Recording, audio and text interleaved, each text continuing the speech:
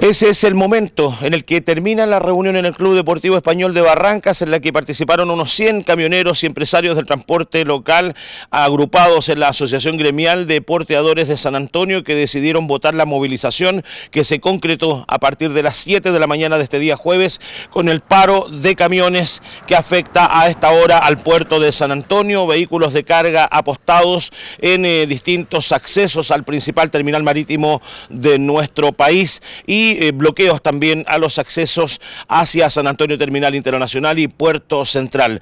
Por la noche tuvimos la posibilidad de conversar con el dirigente Jaime Galleguillos, quien se refería así a la demanda que tienen los porteadores de San Antonio, los camioneros locales, a la poca respuesta que han tenido de las autoridades y también a la manera en que se va a concretar esta movilización que ya partió, como les dije, a eso de las 7 de la mañana. Revisamos las declaraciones que hizo anoche Jaime Galleguillos a un equipo de prensa de Canal 2 de San Antonio. Informar a la comunidad que el, día de mañana los transportistas de San Antonio eh, así eh, realizaremos una paralización a contar de las 7 de la mañana en adelante.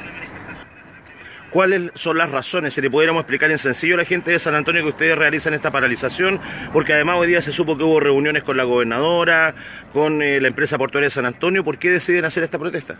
Bueno, hoy día tuvimos bastantes reuniones, eh, tuvimos una reunión bastante prolongada.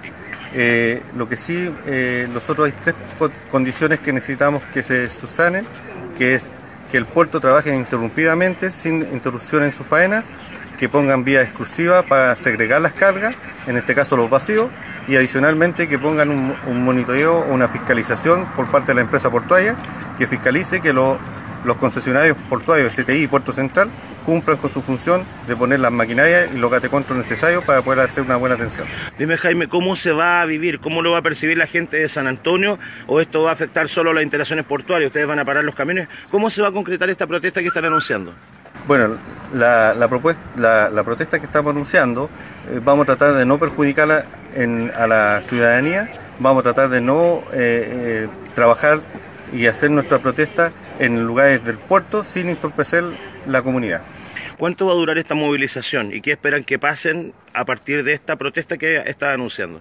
Eh, la movilización es de carácter indefinido hasta que logremos llegar a acuerdo y que las empresas eh, solucionen nuestros demandas. ¿Algún llamado que tú quieras hacer a nombre de los camioneros y de los porteadores de San Antonio?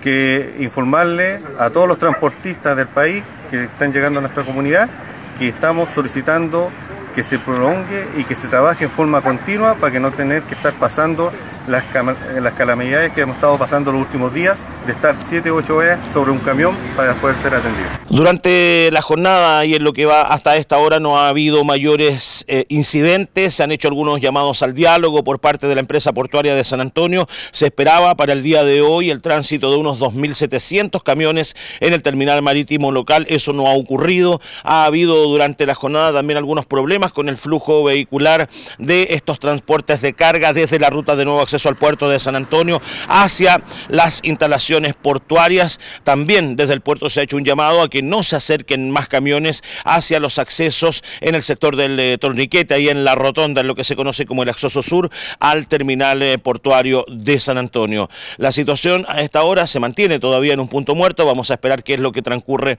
eh, lo que ocurre, quiero decir, en el transcurso de las próximas horas. De todas maneras, los portadores están dispuestos a dialogar, pero también exigen algunas soluciones que, tal como escuchábamos, dio a conocer el propio Jaime Galleguillos luego que las reuniones de la víspera en la gobernación provincial de San Antonio con la empresa portuaria y con las concesionarias del puerto local no dieran ningún resultado respecto a las demandas que hacen para terminar con las largas esperas que tienen que hacer los camioneros, con los atochamientos que se han vivido en las últimas semanas y con, ojo, algo que puede ser una realidad muy pronto aquí en el puerto de San Antonio cuando este terminal opere a su máxima seguridad, a su máxima capacidad, quiero decir. Lo que vivimos hoy es una muestra de lo que puede ocurrir muy pronto, de aquí a 24 meses. La contingencia por el paro en el puerto de Valparaíso está poniendo a prueba la capacidad del puerto de San Antonio para hacer frente a los nuevos desafíos que conllevan la transferencia de carga por este el terminal marítimo más importante de Chile.